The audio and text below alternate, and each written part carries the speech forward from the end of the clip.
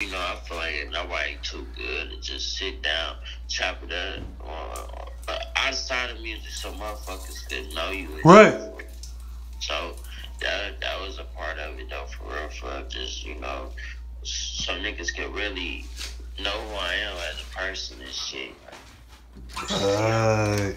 Really and see I really come to shit day by day, every day on a daily basis, Right. It's a lot of questions I gotta ask you, Honcho, man. Uh let's talk about Black Lives Matter.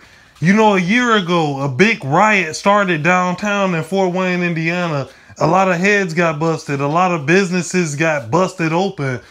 Did you hear about that Black Lives Matter riot downtown? I, I did though. I did hear about that shit. How do you feel about that? Was did you did you get to see it? Like, did you? Yeah, I know everybody seen the video. I didn't. I didn't get to see that shit firsthand, smoke, but uh, I seen some of the videos and shit. But you guys, you gotta think though, it was real, real deal white boys that was going crazy, breaking shit. They, you know, they fuck with us. Like, Fort Wayne, one of them two square.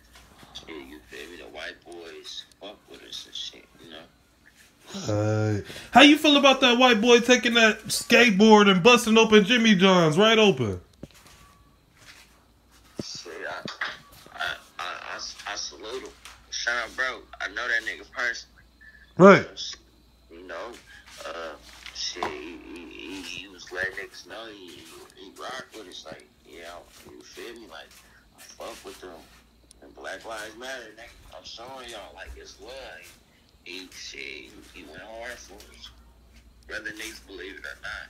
And like, all that shit done. Bro, real deal show that he fuck with us by doing that. Even though it might sound dumb, but yeah. Right. But no, I feel you though, bro, because you know it's a Republican state. This is a Republican city. Like say like Chicago, uh, New York, Detroit. Those are Democratic cities, so the murder rate is very, very, very high. But if you catch white guys doing stuff like this, you know, just to show the the African American race that hey man, we love y'all, we with y'all. Don't they kind of touch the soul?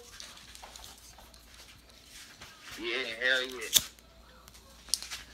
Okay, okay, They do, they do, they do okay, okay. Another thing we wanted to get up on with you, Honcho.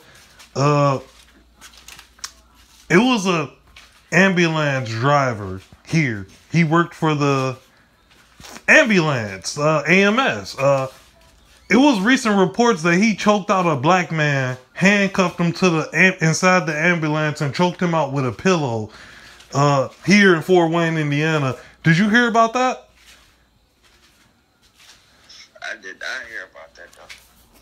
Yeah, they said that they uh the guy needed help. They called the ambulance for the guy.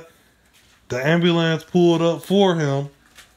I guess he was talking a little crazy because he was drunk. You know, uh I guess they handcuffed him inside the ambulance and took a pillow to his face and suffocated him.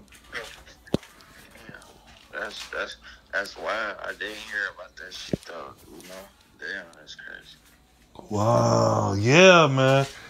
You know what, Honcho? I think me and you had a phone call last week. I was telling you about my unlawful arrest. Yeah, yeah, we did. Yeah, we did. We did. Yeah. You know, uh, I'm recovering though. I recovered 90%. I had a black eye and everything. I jumped in, you know, somebody else fight trying to save them and the police officer told me that you're next. I didn't know what that meant, so I went in the house, continued to pick up the controller, and next thing you know, I see a police officer at my door. You know, I was coming from the liquor store. This all happened from the But we gonna get into that, bro. This ain't about me. This is about you.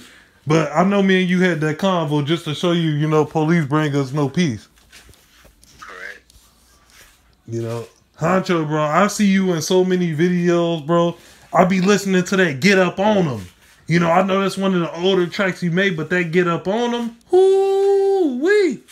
It's hot, bro. It's hot. Yeah, hell yeah, appreciate that shit. Honcho, I, I got probably like, uh, I got some shit for